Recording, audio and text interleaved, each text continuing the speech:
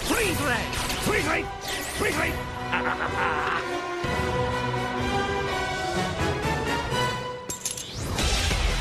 For Gru, being a supervillain isn't easy. We stole the Statue of Liberty! The small one from Las Vegas. He has to control Listen up, please! an army of minions. Dave? He has to outsmart a ruthless archenemy. He shrink ray? No! Oh, I hate that guy. And he's about to inherit Hello? three small problems. You will not cry, or sneeze, or bark, or fart. No annoying sounds. Does this count as annoying?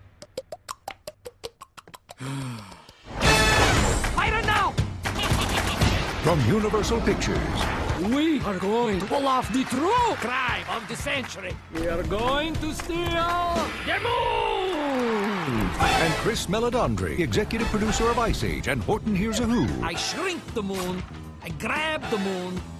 I sit on the toilet. What? You're funny. Go!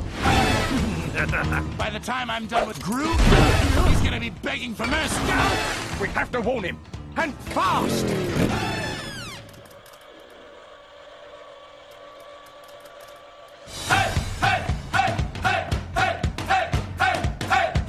This summer, just because he's a bad guy doesn't mean he's a bad guy. Three little kittens started to yawn. Now make them drink the milk. Wow, this is garbage. You actually like this? Despicable Me in eye-popping 3D. He's so fluffy, I'm gonna die. All you gotta do is knock down that spaceship there. Aw. Oh, somebody's got a frowny face. Okay, my turn.